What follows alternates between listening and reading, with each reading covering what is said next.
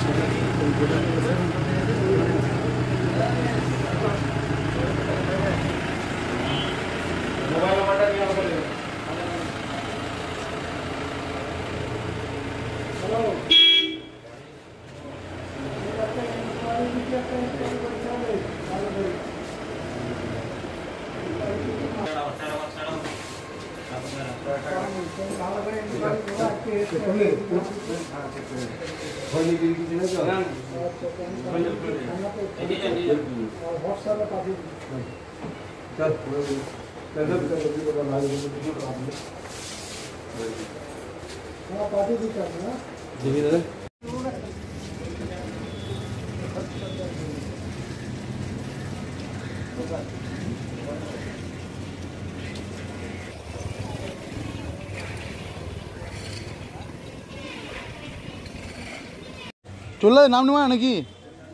নাম নেওয়া না? চলে যে।